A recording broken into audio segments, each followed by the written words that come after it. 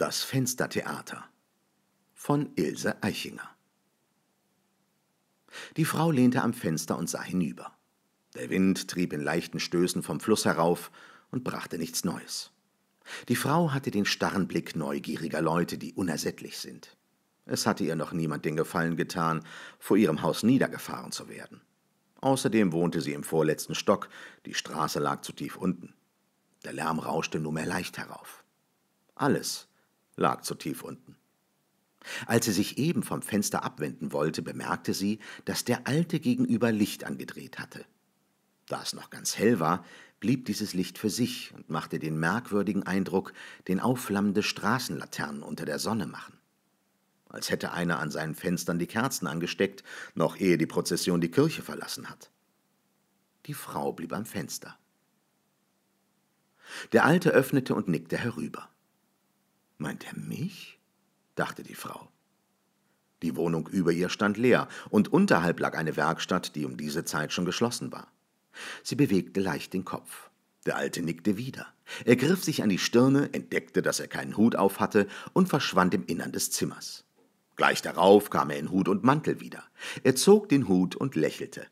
Dann nahm er ein weißes Tuch aus der Tasche und begann zu winken. Erst leicht und dann immer eifriger. Er hing über die Brüstung, dass man Angst bekam, er würde vornüberfallen. Die Frau trat einen Schritt zurück, aber das schien ihn nur zu bestärken. Er ließ das Tuch fallen, löste seinen Schal vom Hals, einen großen bunten Schal, und ließ ihn aus dem Fenster wehen. Dazu lächelte er.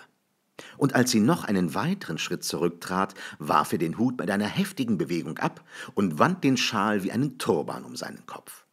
Dann kreuzte er die Arme über der Brust und verneigte sich. So oft er aufsah, kniff er das linke Auge zu, als herrsche zwischen ihnen ein geheimes Einverständnis. Das bereitete ihr so lange Vergnügen, bis sie plötzlich nur mehr seine Beine in dünnen, geflickten Samthosen in die Luft ragen sah. Er stand auf dem Kopf. Als sein Gesicht gerötet, erhitzt und freundlich wieder auftauchte, hatte sich schon die Polizei verständigt und während er, in ein Leintuch gehüllt, abwechselnd an beiden Fenstern erschien, unterschied sie schon drei Gassen weiter über dem Geklingel der Straßenbahnen und dem gedämpften Lärm der Stadt das Hupen des Überfallautos. Denn ihre Erklärung hatte nicht sehr klar und ihre Stimme erregt geklungen. Der alte Mann lachte jetzt, so dass sich sein Gesicht in tiefe Falten legte, streifte dann mit einer vagen Gebärde darüber, wurde ernst, schien das Lachen eine Sekunde lang in der hohlen Hand zu halten und warf es dann hinüber. Erst als der Wagen schon um die Ecke bog, gelang es der Frau, sich von seinem Anblick loszureißen. Sie kam atemlos unten an. Eine Menschenmenge hatte sich um den Polizeiwagen gesammelt.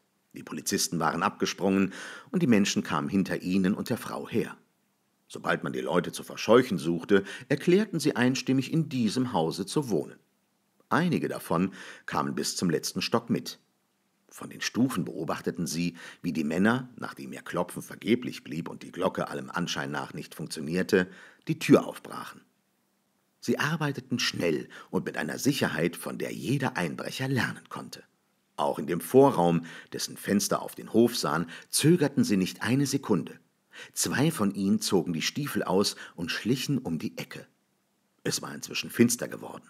Sie stießen an einen Kleiderständer, gewahrten den Lichtschein am Ende des schmalen Ganges und gingen ihm nach. Die Frau schlich hinter ihnen her. Als die Tür aufflog, stand der alte Mann, mit dem Rücken zu ihnen gewandt, noch immer am Fenster. Er hielt ein großes weißes Kissen auf dem Kopf, das er immer wieder abnahm, als bedeutete er jemandem, dass er schlafen wolle. Den Teppich, den er vom Boden genommen hatte, trug er um die Schultern. Da er schwerhörig war, wandte er sich auch nicht um, als die Männer schon knapp hinter ihm standen und die Frau über ihn hinweg in ihr eigenes finsteres Fenster sah. Die Werkstatt unterhalb war, wie sie angenommen hatte, geschlossen. Aber in die Wohnung oberhalb musste eine neue Partei gezogen sein. An eines der erleuchteten Fenster war ein Gitterbett geschoben, in dem aufrecht ein kleiner Knabe stand. Auch er trug sein Kissen auf dem Kopf und die Bettdecke um die Schultern. Er sprang und winkte herüber und krähte vor Jubel. Er lachte, strich mit der Hand über das Gesicht, wurde ernst und schien das Lachen eine Sekunde lang in der hohlen Hand zu halten. Dann warf er es mit aller Kraft den Wachleuten ins Gesicht.